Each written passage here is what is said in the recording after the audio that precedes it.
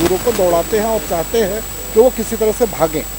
हमने माननीय मान्यवर एक मोदी जी हैं भारत के सर्वोच्च ये हैं सर्वोच्च पदों पर बैठे हुए हैं। उनको भी हमने कई मरतबा लिखा कि ये कर, ये कंपनियाँ जो हैं और ये ये लेबर कमिश्नर वगैरह ये चाहते हैं। ई एस आई सी और पी एफ़ वाले भी ये चाहते हैं कि संस्थानों में श्रम कानून न लगे। डी एल एफ़ की यहीं पर चाणक्यपुरी में बिल्डिंग बन रही है जिसमें ढाई सौ रुपया बारह घंटे का एक मजदूरों को दिया जाता है। आपको हर्ष होगा, ढाई सौ रुपया, जबकि तेरह हज़ार तीन सौ पैंतीस रुपया दिल्ली सरकार का है।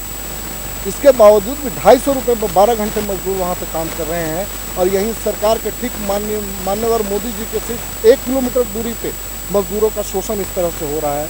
उनको ये एस आई पी एफ़ की सुविधा नहीं है, जबकि वो प्रोजेक्ट 2015 से चाणक्य सिनेमा हॉल को तोड़ करके किया जा रहा है, बनाया जा रहा है। लेकिन वहाँ भी मजदूरों का शोषण हो रहा है। तो जब दिल्ली जैसे शहरों में इस तरह का होगा तो गुड़गांव और एनसीआर में क्या होगा?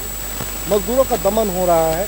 मजदूर भी बहुत जल्दी इनकलाब लाने वाले हैं और जंतर मंतर इस टाइप से हम लोग भी भरने की कोशिश करेंगे और हम लोग भी भरने का प्रयास भी करेंगे। क्या आप लोग हम लोग के साथ हैं? साथ है। बादल सिंह ये जो काम बादल खान जी ये जो काम करते हैं मजदूर ये एक पार्टिकुलर जगह करते हैं या ये ठेकेदार इन्हें जगह जगह ले जाकर काम कराते हैं? जगह जगह ले जाकर के काम करते हैं और पेमेंट रुकी हुई है वो कहाँ की रुकी हुई है? एक गुड़गावा की है गुड़गावा की है और आपके एनसीआर की है दिल्ली की भी है दिल्ली की भी है एलएनटी दिल्ली में ही है और दिल्ली में ही कई जगह काम किया है समझे? इस तरह से काम किया जाता है।